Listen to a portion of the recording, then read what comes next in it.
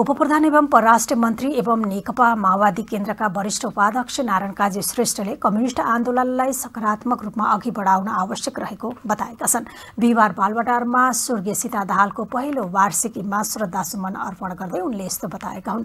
उनले अहिलेको आवश्यकता जनताको आन्दोलनबाट प्राप्त उपलब्धिलाई रक्षा गर्नु रहेको बताएका छन्। उपाध्यक्ष श्रेष्ठले आन्दोलनलाई रक्षा गर्दै नागरिकको चाहना बमोजिम काम गर्न आवश्यक रहेको बताएका छन्। उनले विभिन्न बहानामा प्रतिगामी तत्त्वहरूले आन्दोलन माथि धावा बोल्ने काम गरिरहेको भन्दै यसलाई माथि उठ्न दिन नहुने बताएका छन्। उपाध्यक्ष श्रेष्ठले भने अहिलेको आवश्यकता भनेको यो आन्दोलनलाई सकारात्मक रूपमा अघि बढाएर अहिलेका उपलब्धिहरू खोज्न चाहने प्रतिगामी तत्त्वहरूलाई एउटा वा अर्को प्रकारले यसलाई खोज्न मद्दत गर्नेहरूलाई हामीले माथि उठ्न दिनु हुँदैन।